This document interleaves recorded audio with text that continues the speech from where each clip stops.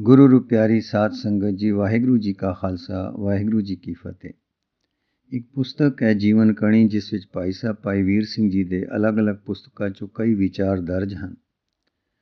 ਅੱਜ ਦੇ ਹਿੱਸੇ ਵਿੱਚ ਇਹ ਦਰਸਾਇਆ ਹੈ ਕਿ ਸੁਰਤੇ ਪੁਰਖਾਂ ਵਿੱਚ ਬਜ ਕਿਉਂ ਆ ਜਾਂਦੀ ਹੈ? ਤੇ ਜਦ ਬਜ ਆ ਜਾਂਦੀ ਹੈ, ਤਾਂ ਕੀ ਹੁੰਦਾ ਹੈ? ਤੇ ਜਦੋਂ ਬਜ ਖੁੱਲਦੀ ਹੈ, ਤਾਂ ਕੀ ਮਹਿਸੂਸ ਹੁੰਦਾ ਹੈ? ਆਓ ਪਿਆਰ ਨਾਲ ਸਰਵਣ ਕਰਨ ਦੀ ਕੋਸ਼ਿਸ਼ ਕਰੀਏ ਜੀ। ਸੁਰ ਸੁਰਤੇ ਪੁਰਖ ਨਾਮ ਵਿੱਚ ਜਿਉਂਦੇ ਹਨ। ਉਹਨਾਂ ਦੇ ਅੰਦਰ ਆਪਣੇ ਨਾਮ ਰੰਗ ਨਾਲ ਚਾਉ ਪੁੱਜਦਾ ਹੈ। ਇਹ ਚਾਉ ਜਰਨਾ ਕਠਨ ਹੈ। ਅਜਰ ਵਸਤੂ ਹੈ।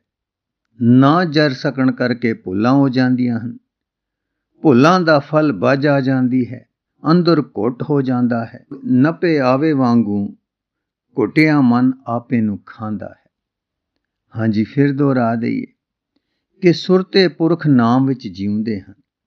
ਉਹਨਾਂ ਦੇ ਅੰਦਰ ਆਪਣੇ ਨਾਮ ਰੰਗ ਨਾਲ ਚਾਉ ਪੁੱਜਦਾ ਹੈ। ਇਹ ਚਾਉ ਜਰਨਾ ਕਠਿਨ ਹੈ, ਅਜਰ ਵਸਤੂ ਹੈ। ਨਾ ਜਰ ਸਕਣ ਕਰਕੇ ਭੁੱਲਾਂ ਹੋ ਜਾਂਦੀਆਂ ਹਨ। ਭੁੱਲਾਂ ਦਾ ਫਲ ਵੱਜ ਆ ਜਾਂਦੀ ਹੈ, ਅੰਦਰ ਘੁੱਟ ਹੋ ਜਾਂਦਾ ਹੈ, ਨੱਪੇ ਆਵੇ ਵਾਂਗੂ ਘੁੱਟਿਆ ਮਨ ਆਪੇ ਨੂੰ ਖਾਂਦਾ ਹੈ।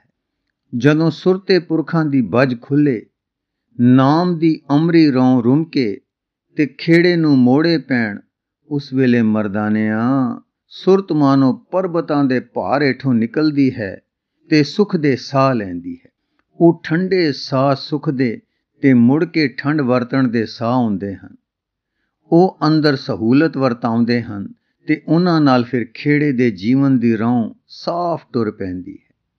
ਹਾਂਜੀ ਜਦੋਂ ਸੁਰ ਤੇ ਪੁਰਖਾਂ ਦੀ ਬਜ ਖੁੱਲੇ, ਨਾਮ ਦੀ ਅਮਰੀ ਰੋਂ ਰੁਮ ਕੇ ਤੇ ਖੇੜੇ ਨੂੰ ਮੋੜੇ ਪੈਣ, ਉਸ ਵੇਲੇ ਮਰਦਾਨਿਆਂ ਸੁਰਤ ਮਾਨੋ ਪਰਬਤਾਂ ਦੇ ਭਾਰ ਹੇਠੋਂ ਨਿਕਲਦੀ ਹੈ ਤੇ ਸੁਖ ਦੇ ਸਾਹ ਲੈਂਦੀ ਹੈ। ਉਹ ਠੰਡੇ ਸਾਹ ਸੁਖ ਦੇ ਤੇ ਮੁੜ ਕੇ ਠੰਡ ਵਰਤਣ ਦੇ ਸਾਹ ਹੁੰਦੇ ਹਨ, ਉਹ ਅੰਦਰ ਸਹੂਲਤ ਵਰਤਾਉਂਦੇ ਹਨ ਤੇ ਉਹਨਾਂ ਦੇ ਨਾਲ-ਨਾਲ ਫਿਰ ਖੇੜੇ ਦੇ ਜੀਵਨ ਦੀ ਰੌਂ ਸਾਫ਼ ਟੁਰ ਪੈਂਦੀ ਹੈ। ਸਾਵਧਾਨ ਰਿਹਾ ਕਰ। ਵਾਹਿਗੁਰੂ ਜੀ ਕਾ ਖਾਲਸਾ। ਵਾਹਿਗੁਰੂ ਜੀ ਕੀ ਫਤਿਹ।